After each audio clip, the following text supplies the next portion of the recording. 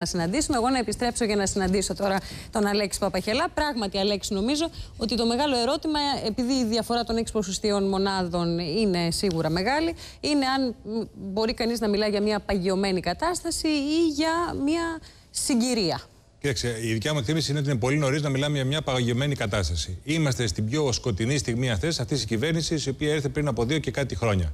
Νομίζω ότι είναι λογικό μετά τις ευρωεκλογές που ήταν οι τέσσερις μονάδες μπήκε μια τορπίλη, αν θέσει, στο σπίτι των περισσότερων Ελλήνων που λεγόταν ένφια. Mm -hmm. Που, εν πάση περιπτώσει, εκνεύρισε τον κόσμο, όχι μόνο το ποσό το ίδιο, υπήρχε και μια αίσθηση ότι η κυβέρνηση δεν ξέρει τι κάνει. Ότι ήταν πάρα πολύ πρόχειρη, επιπόλαιη, καθόλου προετοιμασμένη και το καθεξής. Και αυτό σε συνδυασμό συνολικά φαντάζομαι με τα φορολογικά βάρη. Ναι, ακριβώς. Ο κόσμος είχε φτάσει, έχει φάει το λίπος, τρώει από τα κόκαλα, η μεσαία τάξη έχει διαλυθεί και προφανώς αυτό ήταν κάτι το οποίο ήταν, αν θέσει, ένα πολύ σκληρό χτύπημα.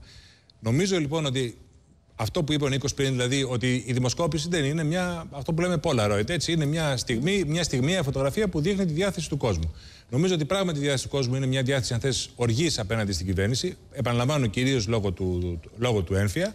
Από την άλλη, προσωπικά δεν βλέπω ακόμα να έχει δημιουργηθεί αυτό που λέμε μια δυναμική, ένα momentum για το ΣΥΡΙΖΑ, με την έννοια ότι είναι ακόμα στους 24%.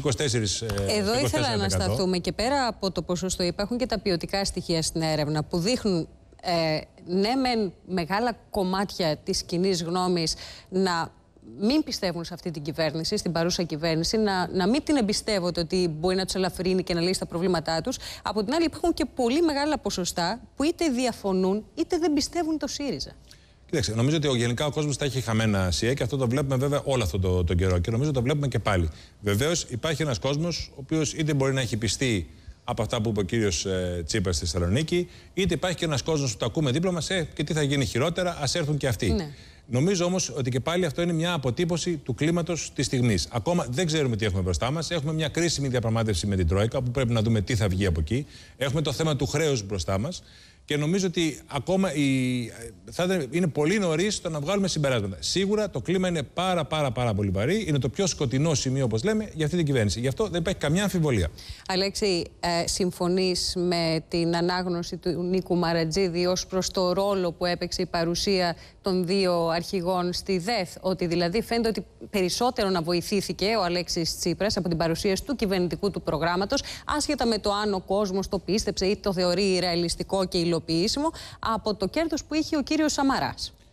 Αυτό φαίνεται και νομίζω ότι εκεί αυτό που συνέβη προφανώς στην πρώτη Θεσσαλονίκη, στην πρώτη ΔΕΘ, είναι ότι ήταν άλλο ένα αυτογκόλ, αν θες, επικοινωνιακής αφασίας από την πλευρά της κυβέρνησης, με την έννοια ότι σηκώθηκε ο πύχης από κάποιους ε, ψηλά, υπήρξε μια προσδοκία ότι θα ανακοινωθούν μια σειρά από πράγματα, το οποίο δεν έγινε και προφανώς δεν έγινε διότι υπήρξε μια απόφαση να μελετηθούν τα πράγματα, να δούμε πού βρισκόμαστε, να τα μετρήσουμε και υπάρχει και μια κρίσιμη διαπραγμάτευση εξέλιξη και μετά να πούν το πού θα πάμε. Όμως αυτό τελικά, όπως φαίνεται, έκανε ζημιά.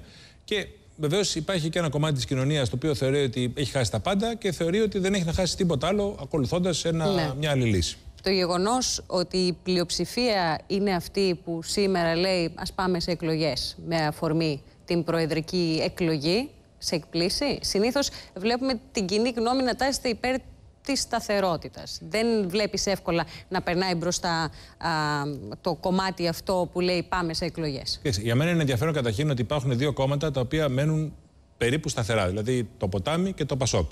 Το οποίο δείχνει νομίζω κάτι. Υπάρχει ακόμα ένα κομμάτι της κοινωνίας το οποίο περιμένει να δει πού θα πάει το πράγμα και το οποίο έχει ακόμα μια ψύχρεμη θέση αντιμετώπιση των πραγμάτων. Από εκεί και πέρα, εγώ πιστεύω ότι δεν είναι παγιωμένο αυτό το, το αποτέλεσμα. Πιστεύω ότι υπάρχουν περιθώρια να αλλάξει μέσα στις επόμενες εβδομάδες. Βεβαίως, το αποτέλεσμα και οι δημοσκοπήσεις θα είναι πάρα πολύ κρίσιμες στο κλίμα που θα φτιαχτεί για την Προεδρία της Δημοκρατίας. Γιατί αλλιώς πάει ένας βουλευτής να ψηφίσει για πρόεδρο αν έχει ανοίξει ψαλίδα, και αλλιώς πάει αν το πράγμα είναι ντέρμπι και βλέπει ότι υπάρχει περίπτωση να επιβιώσει αυτή η κυβέρνηση. Όπως επίσης πρέπει να πω, θα παίξει κρίσιμο ρόλο και στη διαπραγμάτευση με τους ξένους. Διότι προφανώς και οι ξένοι περιμένουν να δουν ποιο είναι το κλίμα εδώ. Ο κ. Σαμάρα θα πάει στην κυρία Μέρκελ την Τρίτη, έχει ένα πολύ κρίσιμο ραντεβού. Ε, και οπωσδήποτε και αυτοί κοιτάνε να δουν πού θα πάει το πράγμα. Πάντως νομίζω ότι χρειάζεται μια ψυχραιμία από την πλευρά της κυβέρνησης, χρειάζεται μια ανασυγκρότηση, αν θες, ε, της κυβέρνησης, η οποία μοιάζει να έχει κουραστεί και είναι και πάρα πολύ λογικό με όλα αυτά τα οποία έχουν γίνει. Μοιάζει να έχει λίγο χάσει τον έλεγχο των εξελίξεων και πιστεύω ότι τα πράγματα θα φανούν πολύ πιο καθαρά τον Οκτώβριο. Πιστεύω ότι ακόμα είμαστε κάτω από το σοκ κυρίως του, του Ήταν ένα πράγμα το οποίο διέλυσε, αν θες, την ψυχολογία του κόσμου την ώρα που έλεγε Άντε, μήπως πάμε να βγούμε, μήπως πάμε καλύτερα, τελειώσαν τα ό,τι είχαμε στην άκρη, αλλά μπορεί το πράγμα να γυρίσει. Αυτό του διέλυσε την ψυχολογία. Ακριβώς. Ευχαριστούμε πολύ, Αλέξη Παπαχελά.